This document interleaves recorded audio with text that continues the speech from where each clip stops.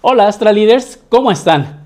Hoy vamos a hablar de algo que a muchos nos ha dado dolores de cabeza cuando aprendemos un nuevo idioma. Estoy hablando de la comprensión auditiva o mejor conocida como el listening. Y créanme, yo sé lo difícil que es. Para mí fue la habilidad que más trabajo me costó dominar, pero poco a poco lo logré. Y les voy a contar cómo. Adastra, Adastra, Adastra, Adastra. Con el doctor Jesús Flores. Síguelo en todas las redes como arroba doctor Jesús G. Flores. Sean bienvenidas y bienvenidos. Les saluda el doctor Jesús G. Flores y el día de hoy les quiero contar un poquito de mi experiencia y es que para elaborar este episodio me inspiré una clase que estaba dando el día de hoy con mis estudiantes y estábamos escuchando una entrevista de radio de la Deutsche Welle. Eh, ahí había un par de expertos opinando sobre un tema en particular. Ah, y cómo les costó trabajo a mis estudiantes entender a los entrevistados porque uno de ellos era alemán hablando inglés británico y el otro británico. Acá en México, que es desde donde se graba este programa, casi no estamos acostumbrados al acento británico. Y esto en gran medida se debe a que pues somos vecinos geográficos de Estados Unidos, por lo tanto estamos acostumbrados a escuchar más el acento americano que el británico. Les cuento un poquito desde mi experiencia. En mi caso, cuando yo empecé a estudiar inglés, uff, me frustraba no poder entender a los hablantes nativos. Pero lo que a mí más me ayudó fue escuchar entrevistas de radio, sí, cuando todavía se escuchaba el radio o se veía la televisión. También veía por ahí una que otra serie de televisión que llegaban en disco, en cassette y películas en inglés. Lo que más me costó trabajo fue el poder quitarle los subtítulos en español, ya que usualmente, la verdad, uno activa los subtítulos por flojera porque no quiere ponerse a pensar. Y si a ti te está pasando lo mismo, te recomiendo que veas segmentos de películas o de series de televisión sin subtítulos. A lo mejor no las veas completas porque la verdad en ocasiones te cansas mucho mentalmente. Lo que más me ayudó en realidad fue el escuchar canciones de mis artistas favoritos. Esa actividad me fascinaba.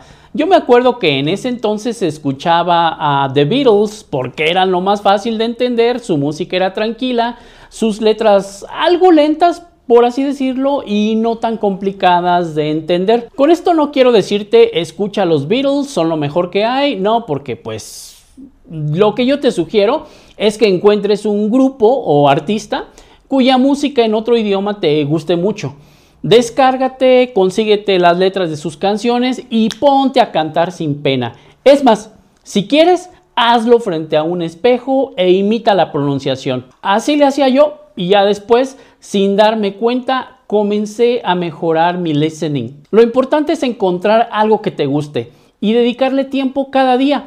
Con 15 minutitos que lo hagas al día, vas a ver cómo progresas rápidamente. Ahora, ¿Por qué es tan difícil el listening? Primero, pues está la falta de vocabulario. Si no conoces algunas palabras, te sientes perdido. Por otro lado, está la velocidad de los nativos que puede ser muy abrumadora, la verdad.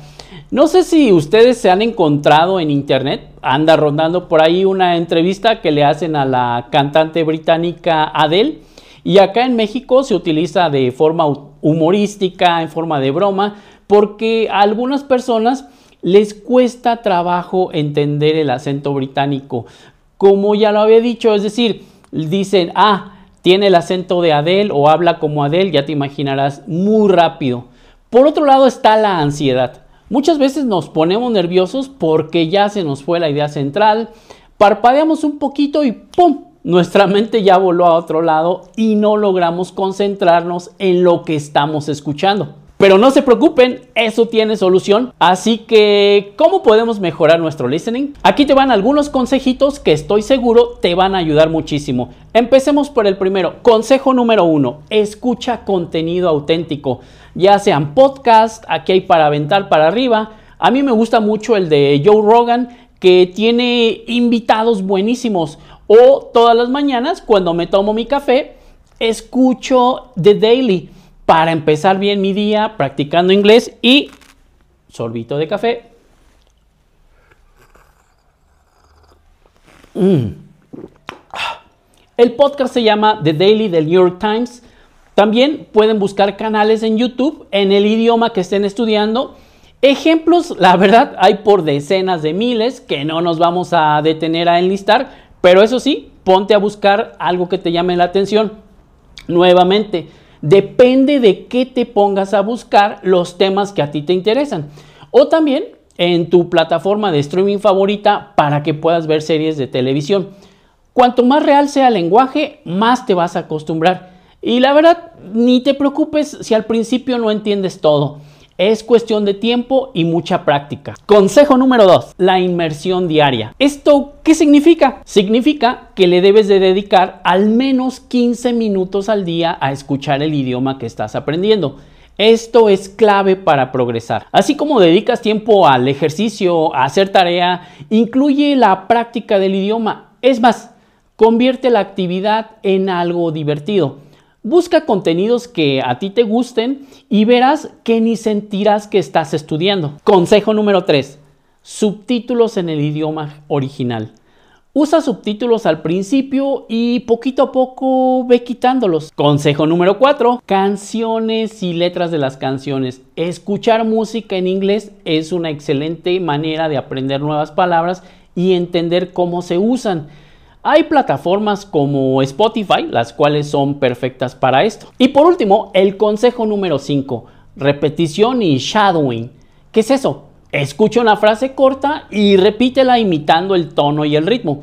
Esto te ayuda a desarrollar una mejor intuición para el idioma. Mira, hay estudios que respaldan esto que estoy diciendo.